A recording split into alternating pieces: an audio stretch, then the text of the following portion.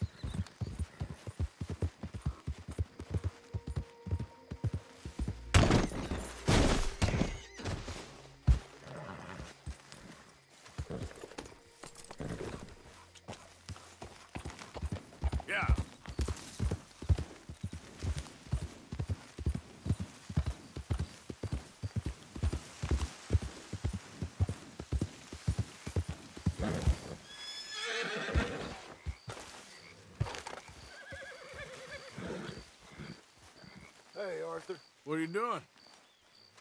Selling it back to where it came from. Why? I ain't got a market for it. They made it. They must have someone to sell it to. Stuff look kind of lonely out here. I think we'll cut ourselves a deal. Uh, I get you. You and Dutch was just doing your duty when you requisitioned it. Now I'm doing mine. All right. I should get going now. I'll leave you fellas to it. Good luck. Thank you, John. We'll see you later. Dutch asked him to look into something to do with the Braithwaite horses, I think. Sure, okay. Okay, let's head out to the Braithwaite's place. You know the way? Yeah, I've been there. So, what exactly are we doing? This is the moonshine we took after blowing up the Braithwaite still, right? I think the good citizens taking the trouble to return their stolen goods deserve some reward, don't you? And it's time we made a formal introduction, like Dutch told us. Look, these are two big old plantation houses, and all I keep hearing is they hate each other so much they can't see past it. I know. I've seen it. There's a gray boy and a Braithwaite girl carrying on a secret affair. I've been, well, helping them. The mind boggles. You think they're of use? Not sure. They don't seem too involved in the rest of it, but maybe. Well, I'm sure there's money in this for us somewhere if we can get in the middle of it.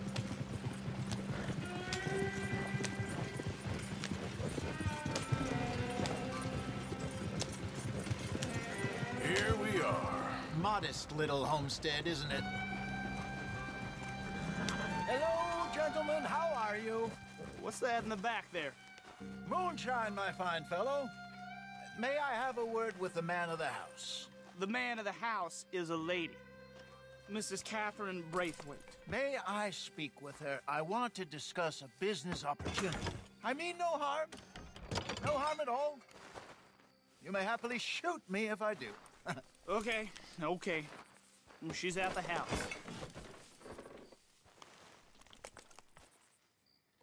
We'll be watching you. You heard the man. Driver, proceed, please.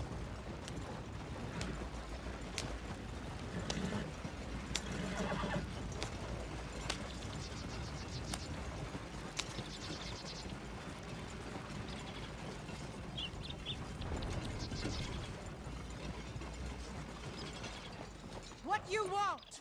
Found something. Out in the hills. Thought, thought maybe you was in the market for it. For what? Some liquor. I ain't in the market for what's already mine. The way we see it, it's ours. Well, with us possessing it, and I, I checked all over. For the life of me, I couldn't see your name on it. Oh. Relax, I ain't here to rob you. Though it seems that's easy enough. Wanna do a deal? What do you sell that stuff for? Dollar a bottle? You give us 50 cents. It's already ours. Well, look on it as a reward for finding the property. Alternative is we go sell it someplace else. The alternative is you get shot. Now, who wants to get shot over a bottle or two of liquor? Pay the man.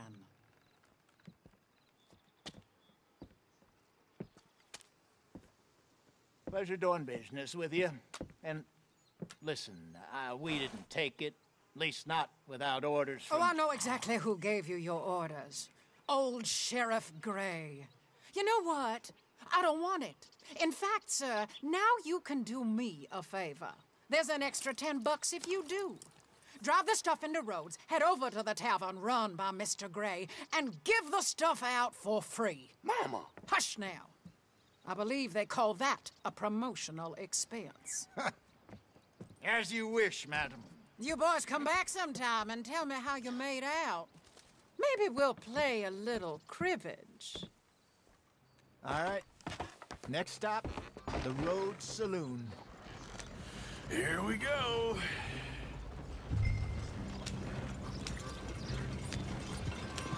So I finally sold those Cornwall bonds. Got close to a thousand for them.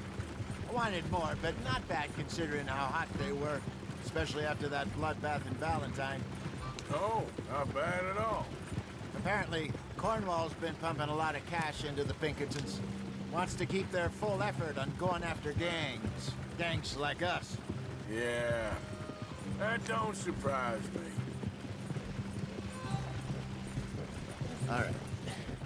This could get ugly. You and Dutch already have that thing going on in town with the sheriff. Yeah, Mr. Gray. That's it. Now we're inserting ourselves in his blood feud. We'll need something. I ain't playing dress up. You know how I feel about that. Of course you're not. You're... You're a clown's idiot brother. Hosea, please. I'm the clown. You're the idiot. Look sad and keep quiet. Even you can do that, Arthur. Oh, I have to. Put this hat on. Smoke this pipe. Bring your lip forward just a bit. Squint. Oh, perfect. Uh, what about you? Oh, shh, shh. You can't speak. You're turned idiot. right? Broke poor mammy's heart. There, there. Fenton, there, there. Don't get mad now.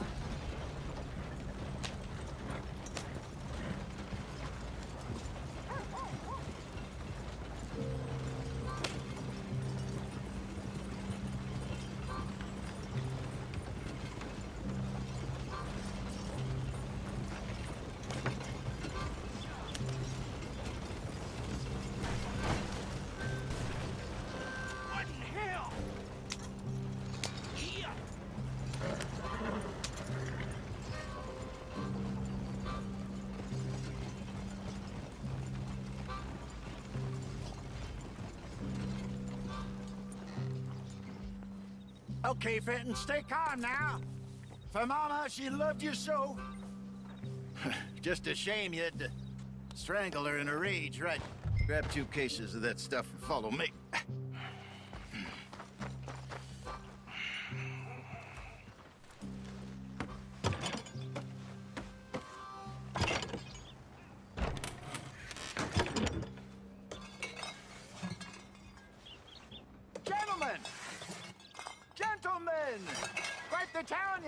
We just rode in from up north.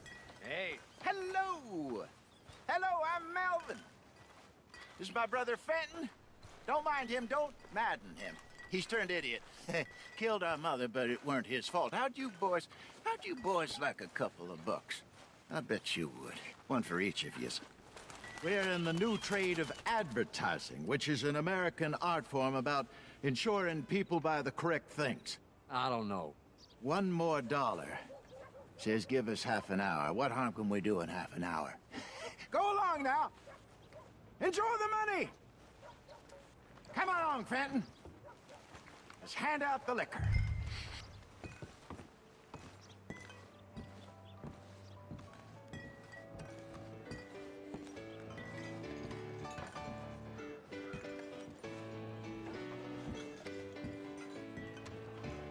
Gentlemen! Gentlemen! My name is Melvin.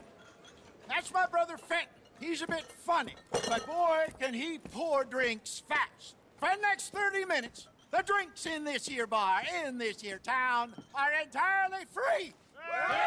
The only rule is that you gotta drink them. So hurry up, put old Fenton to work. Don't get him mad, though. His mama made him mad, and we buried her. Poor thing. Now come up to the bar, everybody. Come on, fellas, it's your lucky I'll have one, Fenton. Free drinks. A gift. Bounty. It's a sin to look a gift horse in the eye. When I see a gift horse, I look my Oh, that's some strong stuff. Sin will keep 'em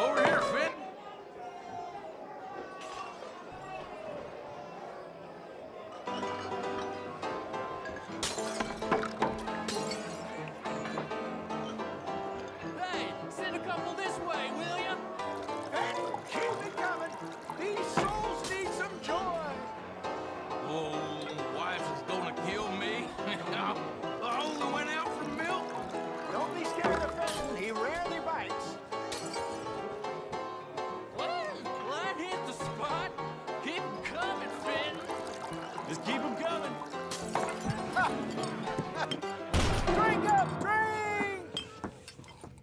Ah, Lemoyne Raiders. good evening, gentlemen. Quiet libation. You, Me? you're the bastards who stole the liquor we was gonna buy. Gentlemen, we're in advertising. Uh, come on in and have a drink. That's our goddamn liquor. An honest mistake. Boys, get him! Come on,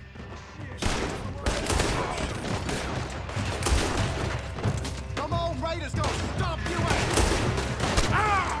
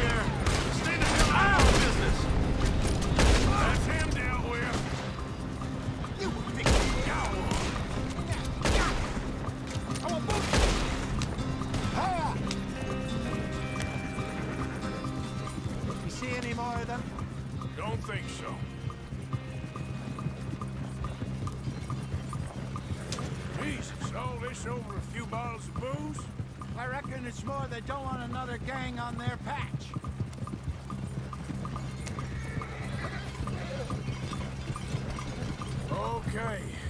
Pull off the road here.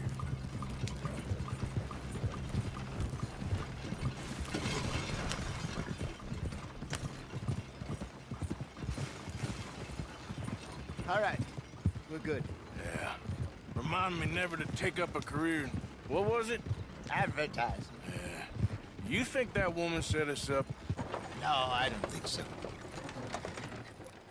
Maybe. This place is odd. Keep seeing those fellas. Some local militia. Clearly not too happy to have some new competition. I'll go visit old Mob Braithwaite, see what's what. Why? We've been making money. The chest is filling up again, slowly but surely. Part of me thinks we just get ourselves good and lost. But we still need a lot more money before that can happen. So, for now, let me go give old Mrs. Braithwaite some of this moonshine as, well, let's call it a peace offering. Sure. That was fun, Fenton.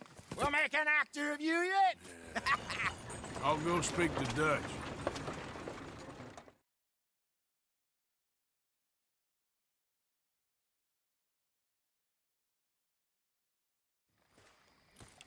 So, what do you think? About what? The fine folks around these parts. Oh, real nice. Exactly. On the one side, we have got the Gray family. Scots, degenerates, drunkards, the local law. You couldn't make this stuff up. Rich as Croesus. And on the other, their mortal enemies, the Braithwaites. Moonshiners, hypocritical, both rolling, we believe. In gold. Hmm. And in the middle of it all, you got some inbred retelling of Romeo and Juliet. exactly. so what you boys thinking? We try to rob them both. You sure? Why not? Because we got lawmen in three different states after us. Last thing I want is to get us into trouble, but we need money. Now, we have the opportunity here to put ourselves in the middle of something ain't nobody gonna know we was here, because even without us, these fools are gonna kill each other anyway. Okay, well, Hosea's gone back to see that Braithwaite woman. Good. Hosea should definitely take the lead on this. I sent Sean over to Braithwaite Manor, too. Now, you can meet up with them, or join John and Javier at the Gray's place. Something to do with the Braithwaites' prize horses. Well, how the hell did we get in at the Gray's place? Sheriff Gray kindly put in a word with his father. It ain't that complicated. we gotta convince each family that we're on their side, and then we rob them both. Before they figure out it was us that done it, and not the other lot, we'll be long gone. Think of it as payback for my daddy. Payback. I ain't in the revenge business, Dutch. Least of all for something happened a long time ago. Well, I guess we all gotta pay for something. Now, if you will excuse me, Arthur, I got to write a letter.